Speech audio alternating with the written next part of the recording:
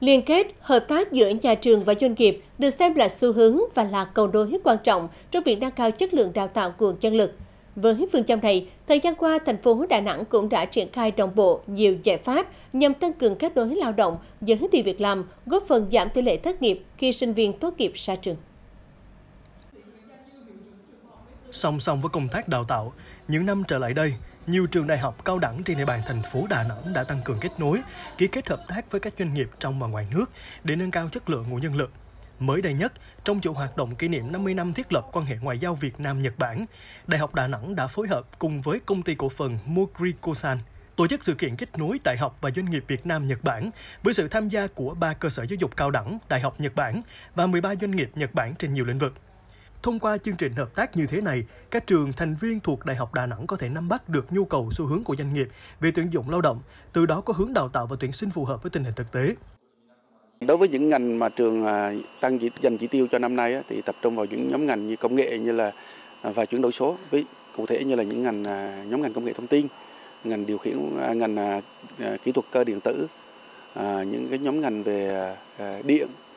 là những ngành mà hiện nay có cái tỷ lệ sinh viên trúng tuyển đầu điểm đầu vào cũng cao và cái thứ hai nữa là các em ra trường cái, cái được cái xã hội chấp nhận và cái tỷ lệ có việc làm cao. Theo thống kê của Sở Lao động Thương binh và Xã hội thành phố, trong năm 2022, Đà Nẵng đã tổ chức 50 phiên giao dịch việc làm, thu hút hơn 5.000 lượt doanh nghiệp tham gia, trong đó phối hợp với Ủy ban Nhân dân quận Cẩm Lệ và ba trường thành viên thuộc Đại học Đà Nẵng, tổ chức 4 ngày hội việc làm thu hút hơn 5.500 người lao động và học sinh, sinh viên tham gia. Kết quả có hơn 200 lao động và 1.250 sinh viên được tư vấn, kết nối tạo việc làm. Thực tế cho thấy việc tăng cường hợp tác giữa nhà trường và doanh nghiệp giúp doanh nghiệp lựa chọn được nguồn nhân lực chất lượng, phát triển tài năng dựa trên năng lực của sinh viên, tiết kiệm được chi phí, thời gian đào tạo lại sau khi tuyển dụng. Sinh viên sau khi ra trường có thể đáp ứng ngay công việc tại doanh nghiệp. Có thể tiếp cận trực tiếp các bạn sinh viên các bạn tới các bạn được tư vấn trải nghiệm thực tế luôn. Rồi sau đó thì các bạn có thể là à, tới doanh nghiệp để mà trải nghiệm thêm về công việc. Thì à, tiếp cận một cách nhanh chóng hơn với các bạn sinh viên đó là cái ưu điểm so với các trang tuyển dụng khác. Khi giao dịch việc làm thì à, có cơ hội tạo cho doanh nghiệp tiếp xúc với nhau này à, kể cả những trường thì họ có thể là tìm tới doanh nghiệp dễ dàng hơn. Để doanh nghiệp quảng bá và biết tới trường nữa. Ngoài ra thì có thể biết tới trường những trường đại học nữa. Thì mình có thể tuyển dụng thẳng